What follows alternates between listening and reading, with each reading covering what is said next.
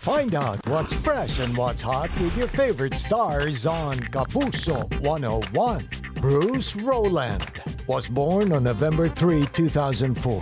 He was only 14 when he started his career as a Kapuso in 2018, and viewers were immediately captivated with his charm. Okay ka lang ba?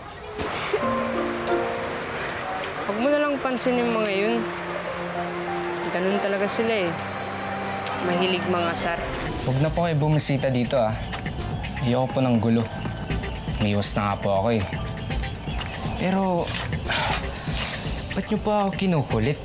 Bruce literally grew up before our eyes as he transformed from child actor to teenage heartthrob. Oh, hi.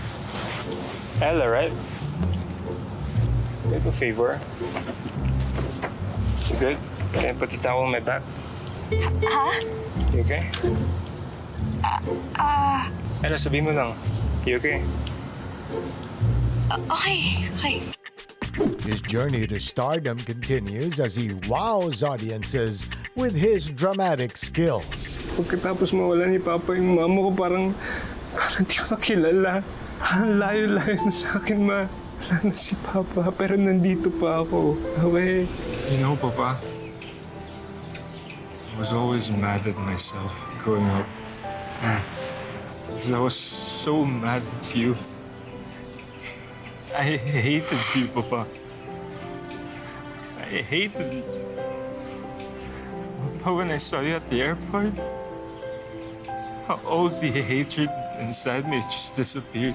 His versatility shines in the romantic series Love is Love at First Read as he plays the role of Risk, the lover boy. Teka, chick? Di ba yung chick na naging girlfriend mo for one week? Ano ba nangyari dun? Mali, mali at ang picture yun. Hindi, ito yun.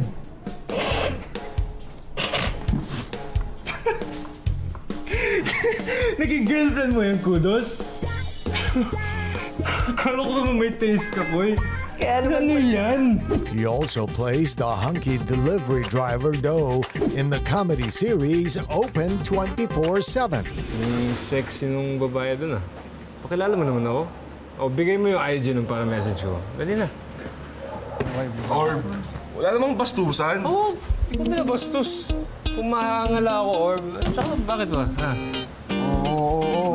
That's Bruce Roeland promising Kapuso Hung.